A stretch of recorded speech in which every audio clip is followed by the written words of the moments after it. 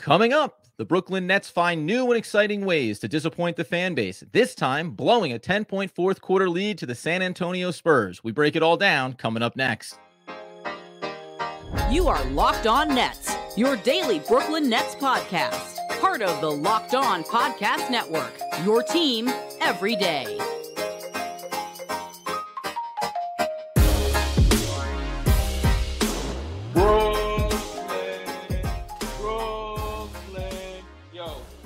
Ah, yes, my friends. It is the Locked On Nets podcast right here on the Locked On Podcast Network. It's your team, the Brooklyn Nets, every single day. Over there's Doug Norrie. I'm Adam Armbrecht. We thank you as always for making us your first listen of the day. We are 100% free on all those great platforms. And tell you that LinkedIn Jobs helps you find qualified candidates that you want to talk to faster. Post your job for free at linkedin.com slash locked on NBA. That's linkedin.com slash locked on NBA to post your job for free. Terms and conditions, they do apply. And there were terms and conditions, Doug, to this game for the Brooklyn Nets. Apparently, they had to lose. They needed to lose. And darn it, they found a way to get the job done. Well, buddy, they did it. Uh, against all odds, they've now run the tanking team gauntlet in that they have lost to every team that is trying to also lose this season in order to improve their draft pick and their draft stock going into this year. Nets have walked into each one of those wanting and trying to win and mm-hmm. have ended up losing. And the Spurs were the last one on the docket here that they needed to take care of because the Nets have already lost to the Blazers twice. They mm-hmm. lost to the Hornets twice. They lost to the Wizards. They lost to the Grizzlies. They lost to the Pistons. They were able to lose to the Jazz. They lost to the Raptors. And the last one on the list was the Spurs. And they walked into Texas on Sunday night and they got the job done. Up 10. No, no, no, no, no. We're gonna take we're, we're, gonna snatch defeat from the jaws of victory and make sure we clean sleep clean, clean sweep this bad boy. And now they have lost to every other bad team, who, by the way, as a reminder, are trying to lose where the Nets are not. I don't know how you hold up the uh the you know tankathon bingo card, but like we got it, baby. Come on now. What do I win for the sweet raffle here? And, and, it's funny too, not funny, not funny, because you think about going into this game and wondering how do you get yourself from eh, from a talent standpoint.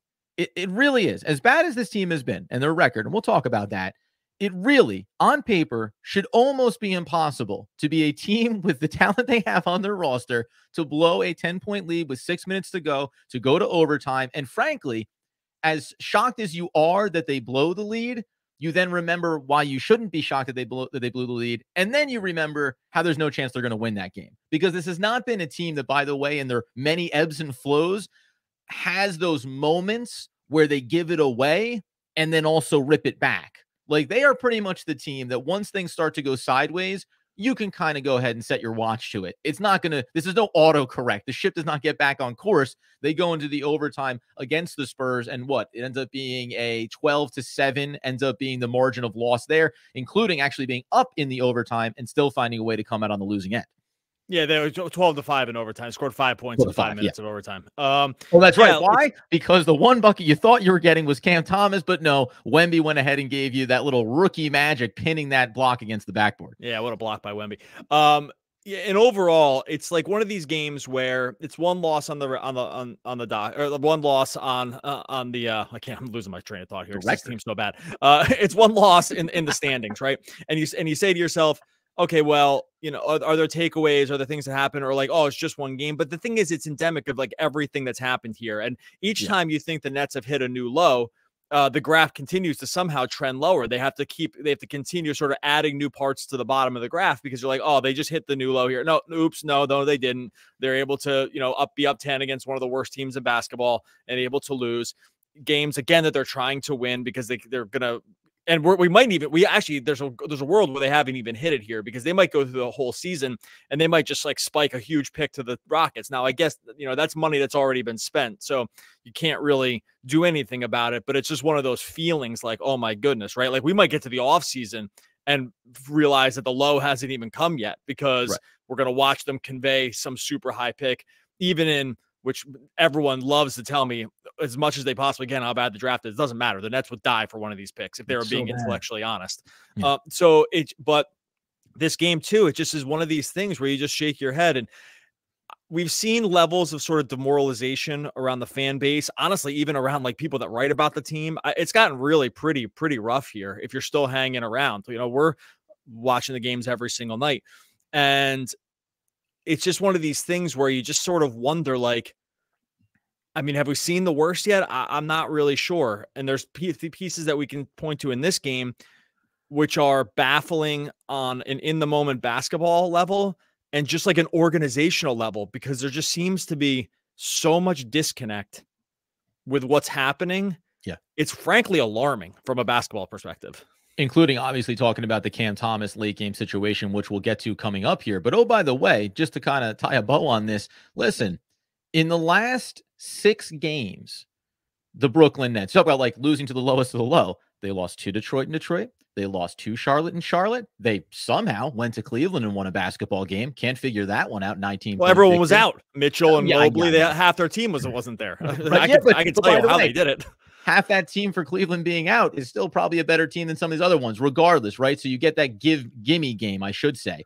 Then you go to Orlando and lose, good team. They're in the playoffs, whatever. You lose to the Pacers, and then you lose to San Antonio. You've lost to three of the worst teams in the last six games alone, not even that you've done it over the course of the year. And when you project forward now, like we had that conversation about, well, you know, you'll win some of against these bad teams, and then you'll lose against the good teams. The Pelicans are coming up, the Bucks are coming up, the Knicks are coming up, even the Raptors are coming up. Remember that time we talked about them being the same boat? Like they're not, we're not, it's not. Like this team since, by the way, over the last three months, and I did it why? Because it's like the perfect date. Since December 17th, this team is 13 and 30. That is tied for the exact same record as the Portland Trailblazers, and that's tied for fourth worst in the NBA. San Antonio's 111, Detroit is 110.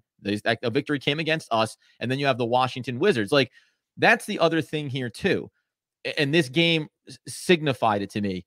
You cannot tell if these players know which way they're, they're they're coming or going here. Sometimes they're bought in, sometimes they're checked out, and sometimes you see it seemingly happen over the course of a game. They are among the worst team record-wise over the last 3 months in basketball. And to your point, there's a work you're just going to keep dumpstering your way to the bottom and whatever we thought the basement was by the end of the year, it could actually look even more alarming. And that matters relative to what this roster is and what this organization has said the roster is going to be going forward. They've badly. I mean, I was going to say this to the end, but I'll just say it now. They've badly mis. I mean, badly, badly, badly misevaluated what they have. It's um to a staggering degree. I, th- this yes. has been such has been by Sean Marks. This it starts with Marks now. Um, there's no other place to lay the blame at this point. Um, they've gotten rid of everybody else who you could have blamed. like, uh, like, like everyone else is gone. there's all the stars are gone. You've replaced them with other players and packages you replace the coach multiple times, you've done all this different stuff. Um, and even for a world where it's like, oh, you know, this is the gap year and they're going to be, but they treated this like a gap year where they wanted to win, right? Because yeah. if they understood, like, so they com- they complete, even if you give them the benefit of the doubt that they understood that this was sort of an in between timeline, right? They've even they've misevaluated their own ta- their talent along those lines so badly. I mean, so badly right? They stink. They stink. And there's no world where they thought the team was going to be this bad. There's, there's no there's no way. There's no way. Right. Because if you thought your team was going to be this bad, you would have done other things like trade, like really entertaining trades for some of these other guys, really stripping it down. Because you it's how are you becoming an attractive landing spot to their team? I think they thought that they would do this like D'Lo 2.0, right? Like that, that, right. those, those teams, like the D'Lo, Dinwiddie, Harris, Allen group, um, that got to the play, Jared Dudley, that got to the playoffs. It looked great on paper from like a culture standpoint. And they were going to kind of put this together, like a bunch of kind of, you know, high level role players that were going to, you know, be more than the sum of their parts. It's been so much less and now I just don't think they even know. They don't know who the good players in the team are. They don't know what systems they should be running. They don't know who should be playing, like late games, which we'll talk about next. Yeah. Like, and they've just done such a misevaluation. I can't imagine like even a fan base has been lower. If you just kind of head around the the fan base streets here, it's you can't get lower. People just have tuned them out. Uh, people just tuned them out. That's the opposite of love. Isn't hate. It's indifference. This yeah, and people are becoming indifferent to this team. And, and I think you framed it perfectly there. What they perceived this to be was a scrappy team that, you know, totally. back into the playoffs, nice little narrative, and then we'll figure it out in the offseason. Instead, they're among the worst, and it looks like it could be getting even worse before it's all said and done. Coming up next here, let's talk about a narrative we thought was dead. Cam Thomas playing in the game late when it matters most, and you need three pointers. Why bother using one of the best on your roster? We'll get into that conversation coming up next. All right, before we get to that, I'll tell you about our friends over at Stitch Fix. Look, if you want the instant confidence boost you're going to get from an outfit that makes you look really good, Stitch Fix is the absolute answer. And it answers the other problem too of like when you can even go to the store to find some of the clothes that you want. Don't worry about it. Stitch Fix is going to get you a personal stylist. They're going to understand your style, your size, your budget. They're going to do all of the shopping for you, ship it your way. You try it on. You see what works for you. You see what doesn't work for you. You keep what you like. You send back what you don't. You wash, rinse, repeat. It's all there for you with Stitch Fix. You can easily upgrade your wardrobe this year with a professional stylist. They're going to help you find new on trend favorites that will work for you. You can take a quiz, it's going to identify sort of your style, and then they're going to figure out the things that are going to work best for you. If I've had multiple Stitch Fix, Stitch Fix boxes come my way. The Flag and Anthem hoodies have barely come off since they've been there. It's been almost like a family event when the Stitch Fix box comes because they say, Hey, dad, husband, they're getting new clothes. He's going to finally start looking his very best. This is what Stitch Fix has figured out for me style that makes you feel as good as you look. Get started today at stitchfix.com slash locked on. That's stitchfix.com slash locked on. Stitchfix.com slash locked on. All right, so as we continue our what is somewhat a post game episode, I don't know, maybe a moratorium on the entire season for the Brooklyn Nets. We think inside of this game, though, we're obviously over the course of the season, we said too, you run out of talking points after losses like this because everything does seem all too familiar. But this was a surprising one for me. Uh, care of Eric Slater, who had the post game uh, press conference coverage as well. So uh, this was interesting. Here's a quote that's definitely something that we'll look at going down the stretch again. Would have loved to have CT, Cam Thomas, in there. I'll take that one. That's Kevin Ollie, head coach of the Brooklyn Nets interim, who's acknowledging that maybe it's on him that Cam Thomas was not in the game down the stretch of this one. Thomas, to his credit, turned around and did say, I guess they felt it was the best lineup to get a three off. It was a good look. He just missed it. It is what it is. If he made it, we wouldn't be here talking about whether I was in the game credit to Cam Thomas for for saying good look. If it went down, it's all good. Because if I was Cam Thomas, and he, he's had moments like these, and, and I you don't need to try to win the PR discussion or narrative around yourself, but I would have said I don't get it. I don't understand why I'm not in the basketball game. I'm the best player on this team. I've made that very clear. Mikal Bridges cannot hold a candle to what I am for this team. I, I was shocked by this. You fired Jacque Vaughn for perceptual reasons, maybe because there was a difference in between the way the front office and the head coach wanted to run this team. You put Kevin Ollie in as an interim head coach. How can another coach come in here and have a moment where he says, maybe not Cam Thomas when we need when we need points, when we need buckets, maybe Cam Thomas shouldn't be a part of the equation for us. All right, buddy, sit back here because oh, uh, I'm gonna just absolutely cook on this. Um, you can take this segment off because I'm gonna uh, lose my mind. So okay.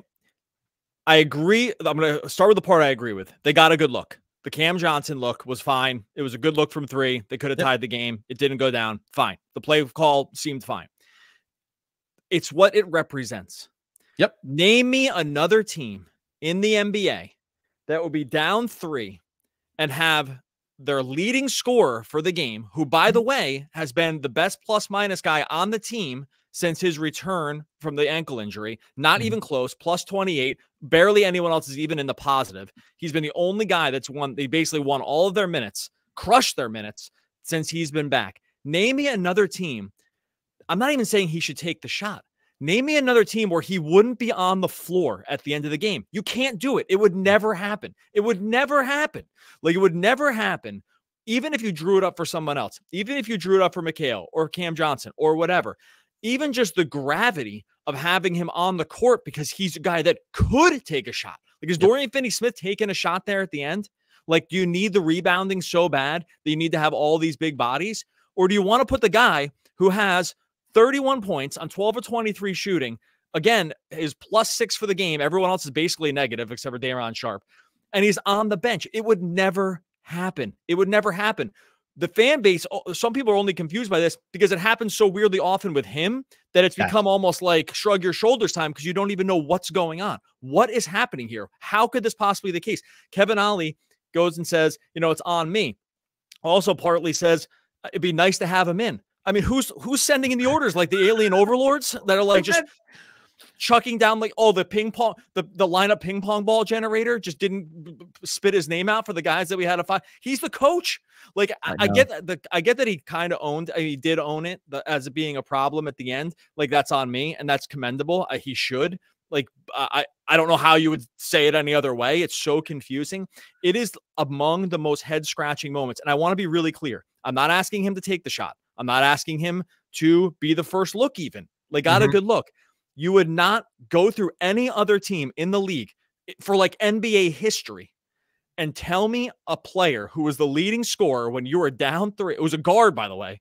Like that would be on the that would be on the bench mm-hmm. for the final play of the game. It's lunacy. It's lunacy.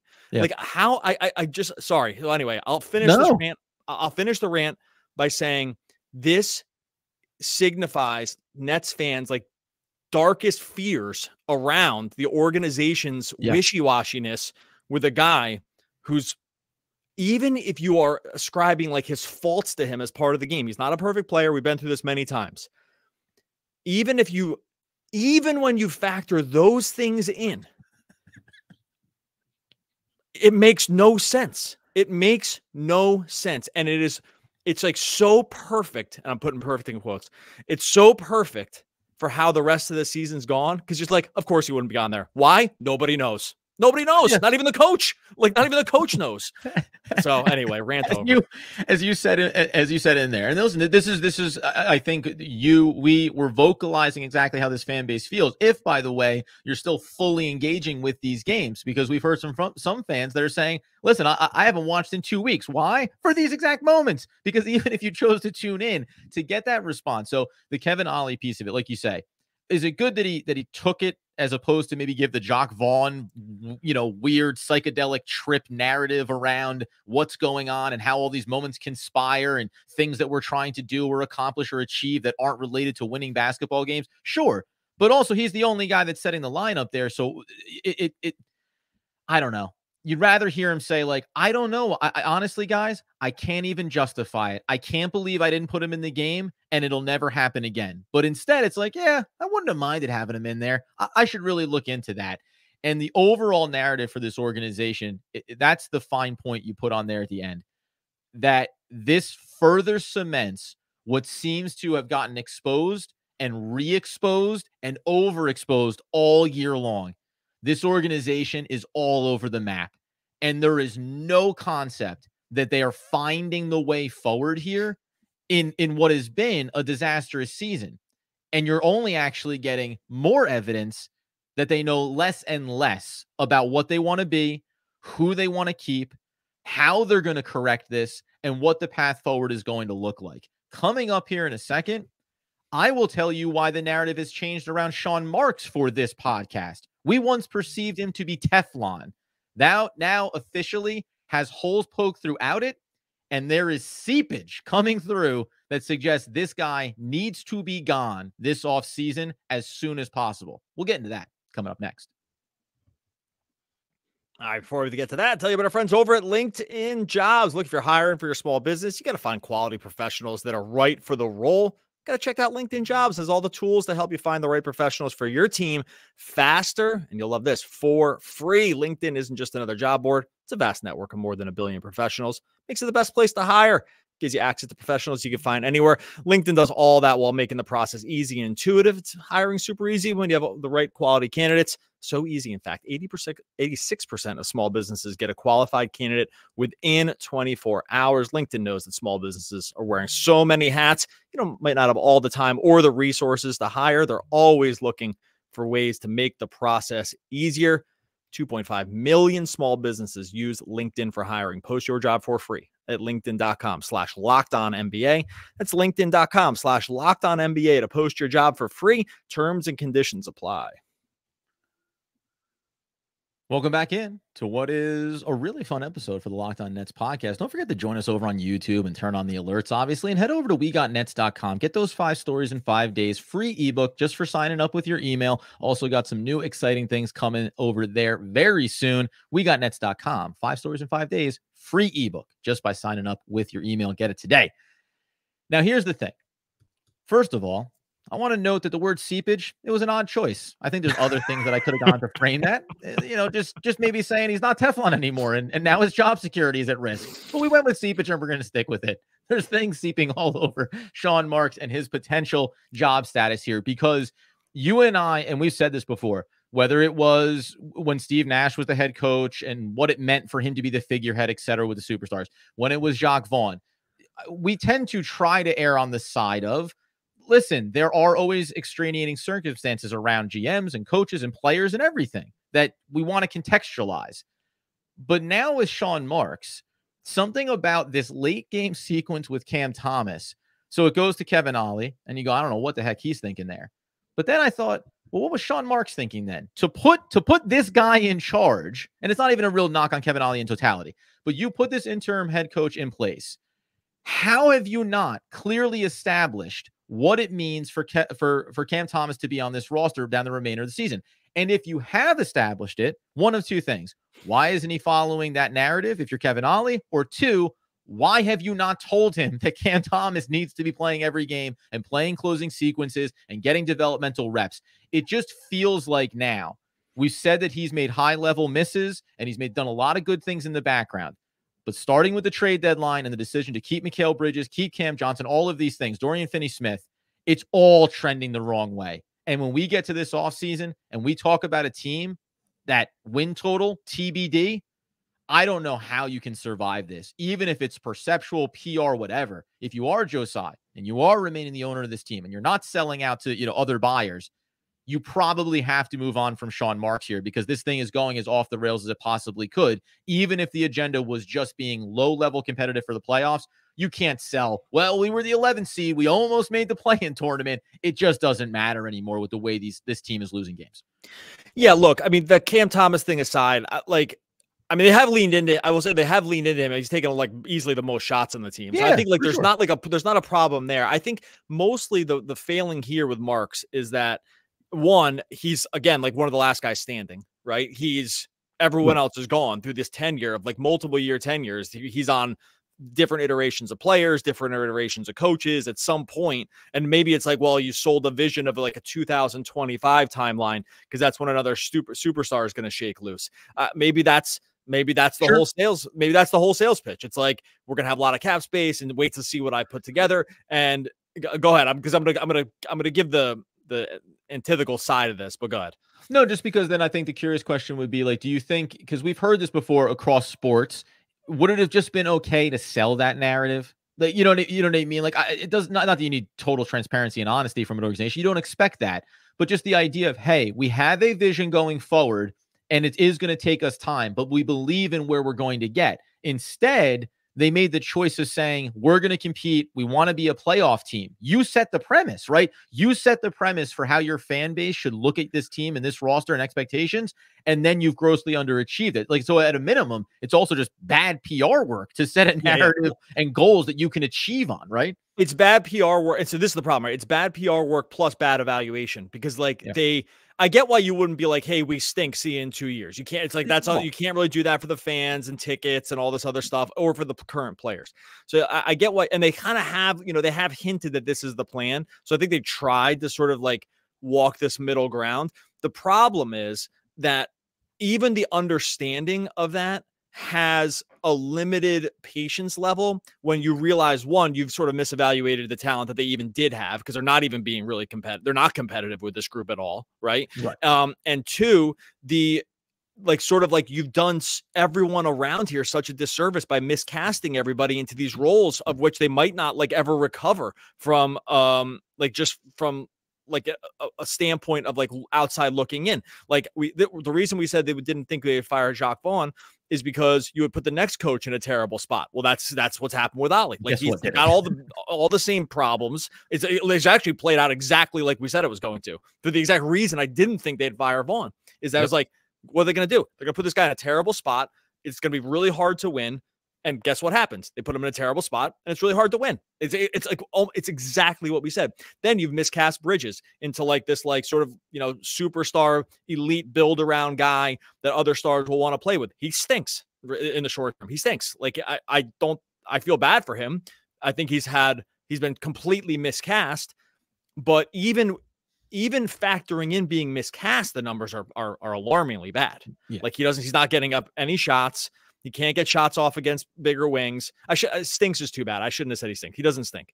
Um, he stinks relative to the expectations. That that that yeah, is correct. He's being, yeah, he's being um, misidentified and where he should be in the hierarchy of the team. Rather, if you put him in his role, if he was playing in his right role, then he'd be doing exactly what. Yeah, I feel bad for saying stink. So I, if anyone's yeah, gonna get on me about that, I'm apologizing for that. I, I that was that was the that was the caught in the heat of the moment. The he is well underperforming expectations. I think that is fair to say. So you've miscast him for a thing or for a role that he doesn't maybe can't live up to.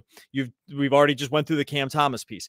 You put Ollie in a bad situation. They've done everyone a disservice here across the board to the point where that uh, that eventually just falls on the GM. There's nowhere else for it to fall. And you can see it in these guys' faces. Like the the tenor of this team is so is so down. You sign Cam Johnson, he's underperformed that contract to a he doesn't even start. He makes a hundred million dollars. He's not a starter. right? Like but, there's all know, like good for, all these, good for a bench player. There's all these I mean all these problems just go right down the line with this stuff. And at some point we've been we've commended Marks for a lot of moves. No other GM would still have the job. No other no. GM. Like that like they'd all be gone by now. And, and, so here's the problem with it, I think, to close out. And by the way, I, I, we kind of knew that this was going to be the roadmap of this episode, where it starts about, man, what a bad loss, that's a shame, and then just continues to get bigger and bigger and bigger because it is about larger narratives. My, my, my number one concern now is if he is still here in the off season, he's not going to make the right tough choices, which would be, hey, let's get back to the table on Mikal Bridges, let's talk about Cam Johnson, you know, other teams, contracts, values, etc. It's going to be the erosion of the draft assets that you have to bring in better talented players to try to quickly get this thing back on track. And I just don't think that quote back on track is going to meet the expectations of the fan base or even the organization because they're going to go and do things that put you back in the mix for the playoffs and I you know mid-tier playoff team but they're going to think it's going to make them a top four seed. Maybe they'll be pushing for top three seed, but it's really going to be about being a six seed, maybe a seventh seed. And you're not going to be favored in playoff series. And the age factor and all of those things around that core right now, it's all going to come home two seasons from now. And you'll have no draft capital and you'll be sitting there staring at another eroded roster. And I, I it's so funny. I, I, they're miserable. You're going to end up bookending a mediocre season or two with really bad seasons, this being one of them. And then I think you're going to get one on the back end that you would think the organization is setting up to avoid and start getting consistent and start being competitive. But they're actually going to keep swinging this pendulum pretty violently here in the, in the foreseeable future until they get back control of their own draft capital. And that's years away right now. Yeah, it's just really, really hard to see. And now, look, sometimes when you're in the, these positions of sort of like high level prognostication or just like organizational management, you have to make tough decisions. You have to do things that might not seem popular at the time. And you have to maybe stick by a vision, and maybe the vision's there. And well, mea culpa time if it, if it ends up coming around. It's just very, very difficult to see how big changes are made with the team in its current state, right? And I think that's the biggest problem. Of like it's it's very hard to see the path to getting even incre- one. It's hard to see the path of getting incrementally better next year to start. Mm-hmm. Like just going to next year, like getting incrementally better next year feels like it's going to be a lot. You still have, still have Simmons on the table. We'll see what they do with the Claxton contract. Like, you know, there'll be some other money to maybe spend, but not tons you know the next year doesn't feel like the year that they're going to unload assets to like really improve and then now you're two years away or a year plus away um in a relative unknown sort of hope uh, my guess is like hoping that one of these other guy or two of them are just even available. It might happen. Look it happened once. I can see like it, it, it's not to say it can't happen again. That's a lot to bank on. That's just a lot to it's a lot to, to bank on. Maybe they know something we don't but when you couple that with an unexciting organization around the current on the court thing, it gets really hard to see. Again, go back to those, you know, those 2017, 18 teams, whatever, with with D'Lo. It was like, hey, this is like a fun brand. They're oh, they're outperforming expectations. We're in the playoffs. Yeah. You know, you know, Jared Dudley's yucking it up, mixing it up with Ben Simmons. Like it's kind of fun. You kind of knew what the ceiling was, but that's okay. Like that's a version that you can talk yourself into growth. This is the opposite. They're not there. They're going, they're they're underperforming expectations. And when that's the case, it's really hard to see why others would want to join. NBA landscape changes fast. What's true today is sometimes not true tomorrow. I, I get it. But this is the struggle I think Nets fans are having right now. And they have to, you would think they have to be having it on the organizational level too. It, and I would say this, my last note would be, and we've said this, we've kind of alluded to this before. Expect the Mikal Bridges potential, you know, maybe I wouldn't mind being traded from here. Th- those rumors and narratives are going to start to build up as this season winds down. You head to the off season because whatever's happened to the perception of what he should be or where he's playing at, he's not going to look at himself, and maybe nor should he, and the performances that he's been putting forward, and think that it's just about him. He's going to look at this roster in totality, this organization in totality, and wonder if he'd be better off somewhere else. I do not think that we are that far away from that discussion as well. Yeah, and that's I mean again, that's like not sourced or anything. It's just kind of like, no, hey, no. Uh, like how long these guys, how long, do you, how long do players want to stick around in in, in, in sinking ships? It doesn't seem exactly. like it'd be forever. And Bridges seems like a good guy, and I doubt that would happen. I guess the fact that we're even putting it as a non-zero chance tells you the state of this organization. All right, we will be back again after the game on Tuesday, doing some post game there. Make sure you can check out We Got Nets uh, get that free ebook. Uh, we're gonna have some other stuff coming. I think there's some merch coming here, uh, which we're pretty excited about. So make sure you go tune into We Got Nets. Just get the free ebook. If for nothing else, just get your name on the email list because we got something else coming down the pike. Success is a menace. It fools smart people into thinking they can't lose. That's Willie Gates. Oh, the all-time great poets. We're back again tomorrow talking more Brooklyn Nets basketball. Basketball, basketball.